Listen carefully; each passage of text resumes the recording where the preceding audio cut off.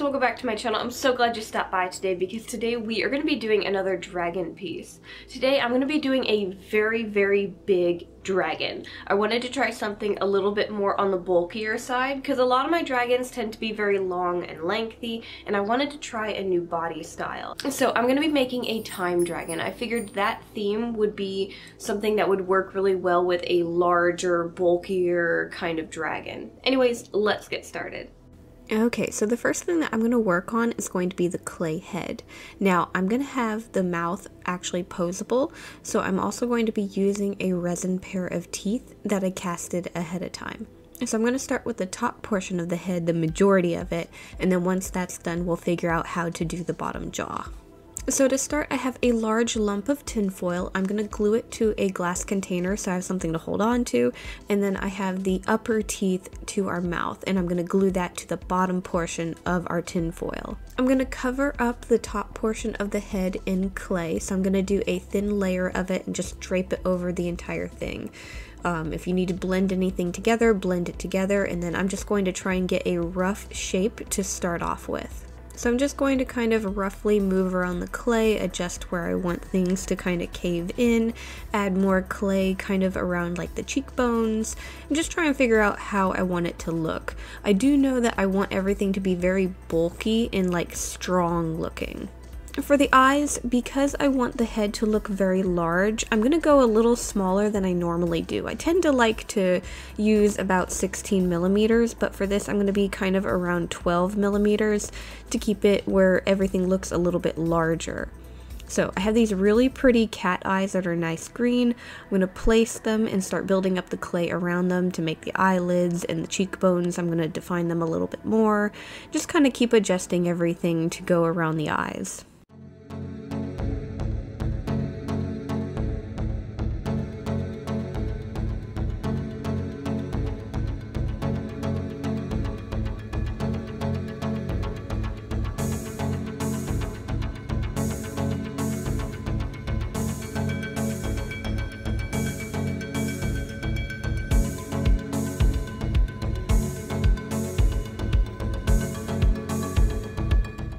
And then I have these really pretty resin horns that I actually made like months and months ago and I've not used them yet. I figured they would look really good with this piece.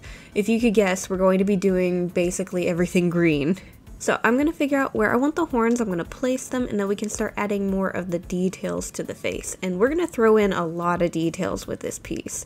I'm to add a bunch of spikes, scales, um, obviously we still need to add the nose and the lips and figure out where everything else is to go.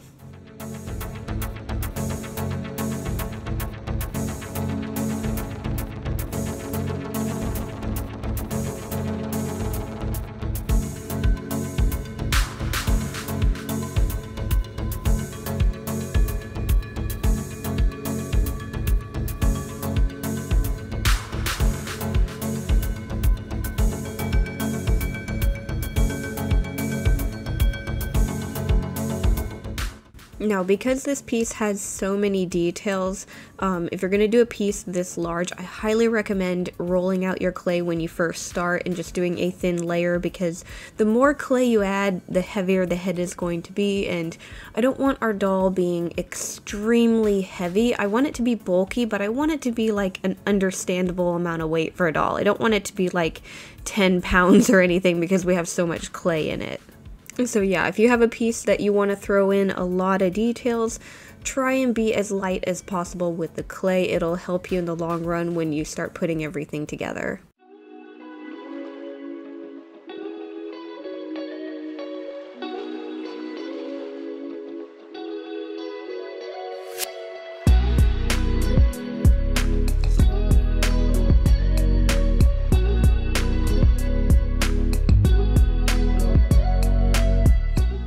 Another thing that I did to reduce the weight of my doll was use some resin pieces. So with the horns, I have those resin obviously, but I also did resin claws and you'll see that when we get to the feet. Resin is actually a lot lighter than Sculpey clay, so it definitely helps when it comes to the weight of your doll.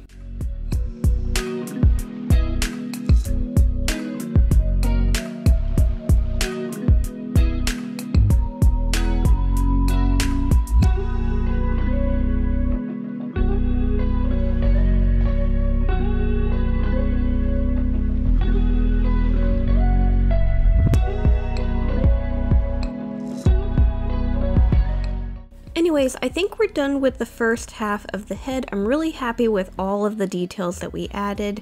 Um, I even threw in a few metal pieces, some jewelry pieces on the top of the head.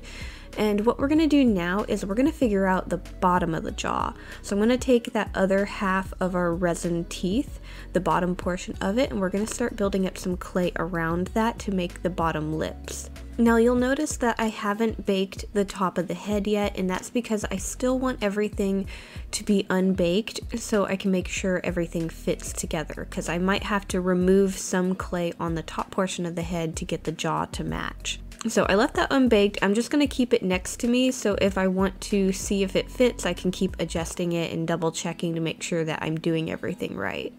And then after I have the lips done, I'm going to work on the inside of the mouth. I want to add a tongue. So I'm just going to take a little strip of clay and lay that out. I want it to ripple a little bit and then I'm going to also fork it at the very end. And then once I have the bottom jaw done and I've made sure that it fits well with the top of the head, I'm going to put both pieces in the oven for about 45 to 55 minutes. You'll notice that I removed the horns from the head and that's because I don't want to bake them. It's probably fine that they bake, but I'm just going to attach them more securely with resin later.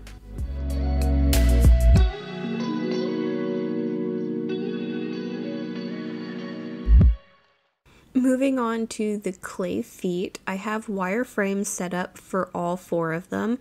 The front feet are going to end up having thumbs, but I'm going to add those later. And those resin claws that I mentioned, they're glued to the end of each wire. I have holes drilled into the back of them and the wires glued in place.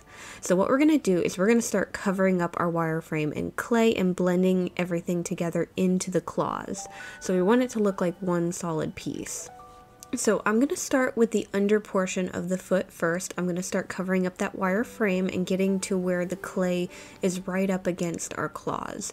I'm going to blend them together and I'm not making individual toes with this. I'm going to end up breaking up the clay afterwards because I have the toes where they're going to be kind of thick and just pushed up against each other so there's no reason to separate them right away. Also, I'm going to be making these a lot bulkier than a lot of feet that I usually do. Usually I do have the really long, delicate toes, but this time around everything's going to be nice and thick. So I'm going to get the bottoms done, and then I'm going to move on to the tops of the feet.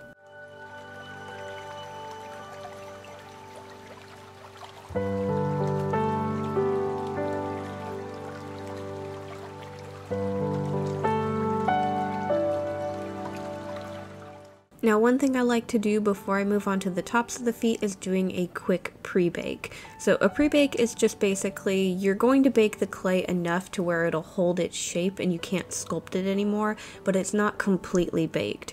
So normally for this I just put it in for 15 to 20 minutes at the normal 275 Fahrenheit that we bake our clay at.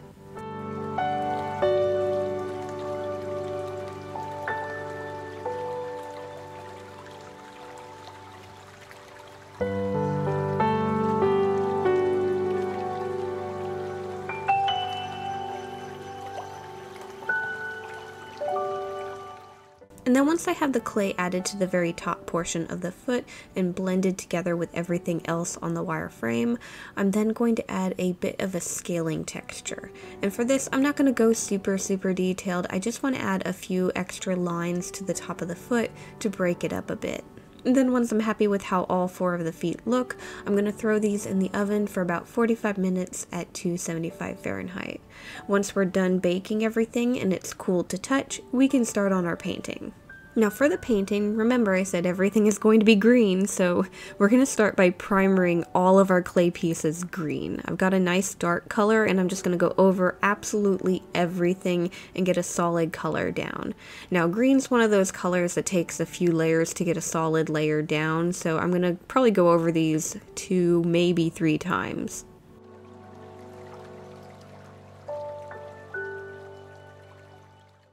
And then once that's dried, we can start adding some highlights. So I'm going to get some brighter greens, I'm going to throw in some yellows and stuff and just really try to get that green to pop.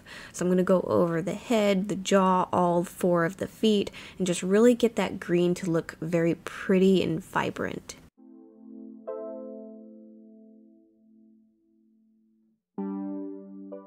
I'm also going to throw in a few darker shades as well. I figured more of an olive green would kind of tone down different areas.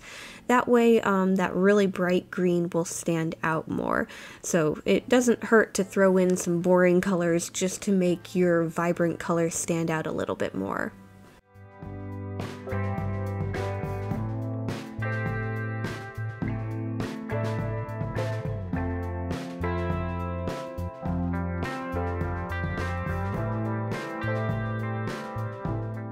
Also, I figured gold would look really cool as an accent color, so I'm going to start adding some extra line work here and there on the face and on the sides of the scales on the fronts of all the feet. So I'm just going to kind of go over it. I don't want to throw in a ton of gold, but I do want to add enough to where it just looks really, really regal, and you can definitely tell there's gold.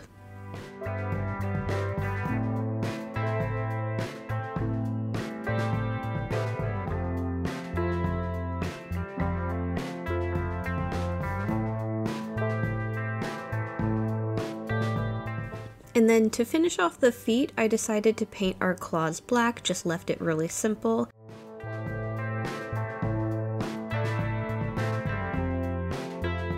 And then the last thing we need to do on the face is we need to paint the inside of the mouth. So I'm going to go over all the teeth with kind of an off-white. I'm going to clean that up. And then the more skin area of the mouth, I have an off kind of it's a little bit of a pale pink. I'm just going to go over the uh, top of the mouth and the bottom where the tongue is. And then once all of our paint has dried, I'm going to clean up the gem on the forehead and the glass eyes. So I'm just going to kind of scrape off that paint. I might have to water it down a little bit and scrub with maybe a q-tip, but eventually I got everything off of it.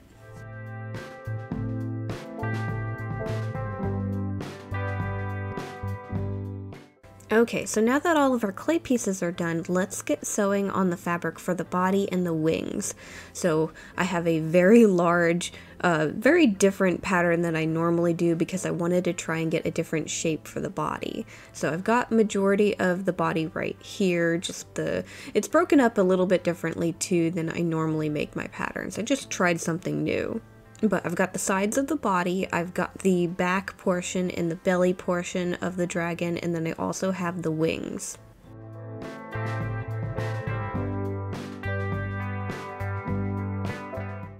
So for the sides of the dragon, I'm going to have a bunch of different colors. I'm going to have some fur fabrics and I'm also going to have two different types of greens. And the idea for the body of the dragon is he's going to have a very thick mane of fur around his neck. So that's why we have the gray and black fur fabric. So I'm going to get all these different pieces sewn together to make the sides of our dragon and then I'm going to move on to the back portion.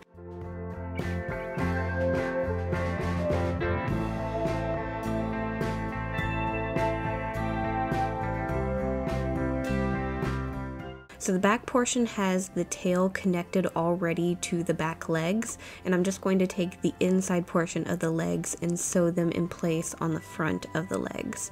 We're going to leave the back open for uh, putting everything together at the end.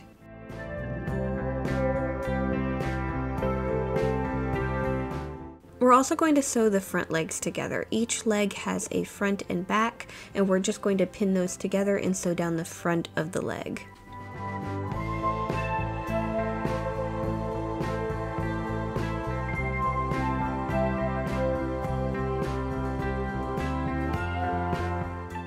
Then we can take all three of those pieces of our body and sew them together. So I'm going to add the back portion to the front portion of our dragon, and then we can add the front legs in place as well.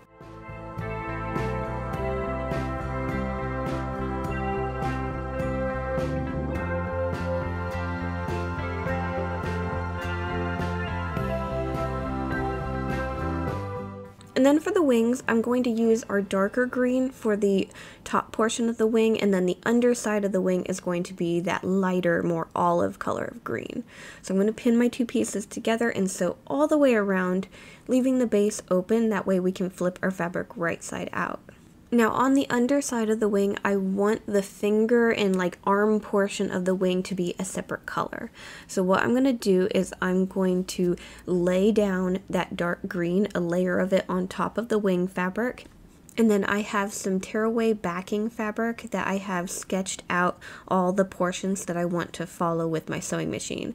So instead of drawing directly on the fabric, I have it drawn out on this. And then once we use the sewing machine to follow all the lines, all of this rips away.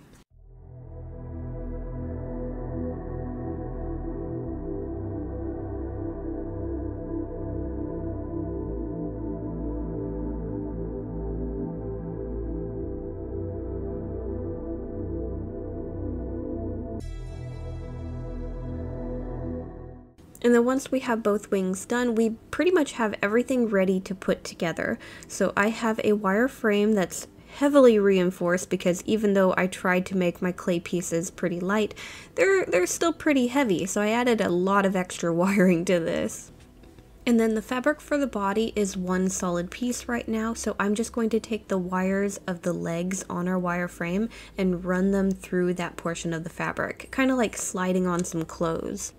I can then take our clay head, which I don't have the bottom jaw connected yet. We're going to add that later. So I'm going to take that clay head and I'm going to glue it to the wire for the neck. Then once that's dried, we can take the fabric for the neck and glue it around the base of the head.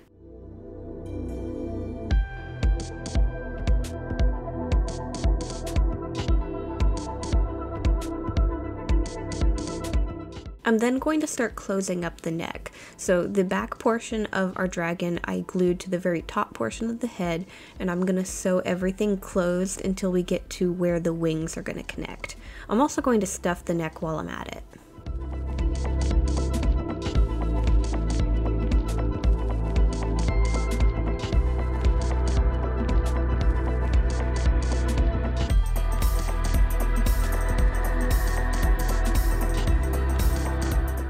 Now for the legs, I'm going to start with the front legs first. I've adjusted the wires for the legs because I always make them a little bit longer than I need to. So I've got those adjusted and I'm going to take our clay legs and I'm going to wrap them in place on the wire frame, connecting them to it. Then I can take the fabric for the legs and I can glue them around the wrists of the front legs or ankles or whatever you call it. I'll let that dry a little bit and then I'm going to stuff and close up the legs. Then I'm going to take the fabric for the wings and I'm going to slide them over the wires for the wings. Once we have those in place, we can start sewing up the rest of the body, sewing the wings in place as we go. So I'm just going to connect the wings to the sides of the body and the back portion of the body.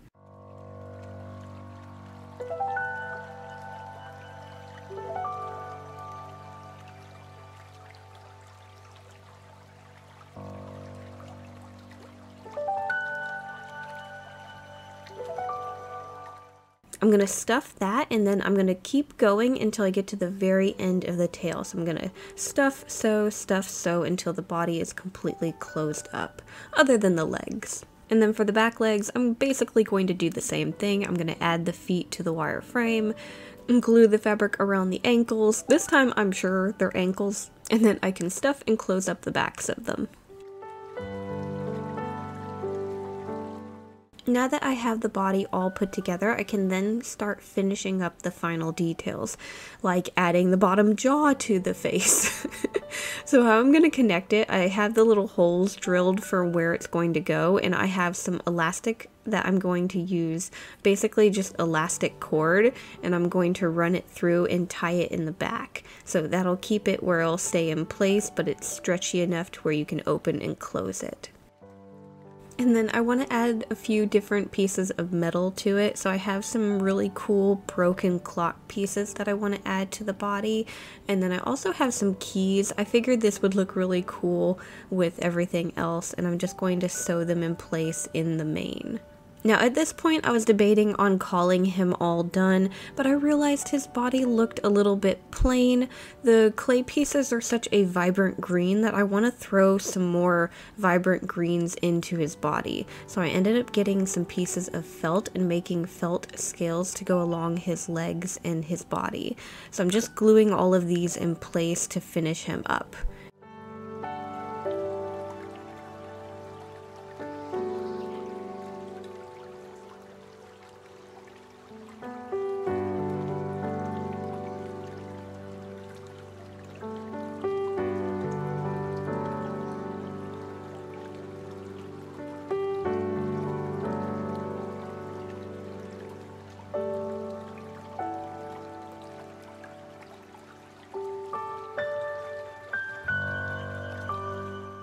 Okay guys, and here is our time dragon. I had so much fun with this one, especially how his body came out. I'm just, I'm really happy with the proportions right here. I'm gonna have to use this pattern for something else. That and I really like his posable jaw. It's really easy to use. I made some alterations to it so it's not like, um, like snap together. It's held together with elastic. Just trying something different with it. That way it can open up a little bit more. Because the way I made it previously, it wasn't opening up that wide. It was kind of stopping about here, and now you can kind of go all the way with it. Anyways, if anyone wants to give our time dragon a new home, he will be on my website. Links are in the description, along with a bunch of other links if you want to try and make your own dragon or art doll or basically whatever. If you're just curious on what I use to make my stuff, I've got a bunch of art supplies linked down below. Now, if you do buy anything through these links, they are affiliated, so it does help support the channel. Anyways, guys, thank you so much for watching. Make sure to like, subscribe to all that fun stuff, and I'll see you guys next time. Bye!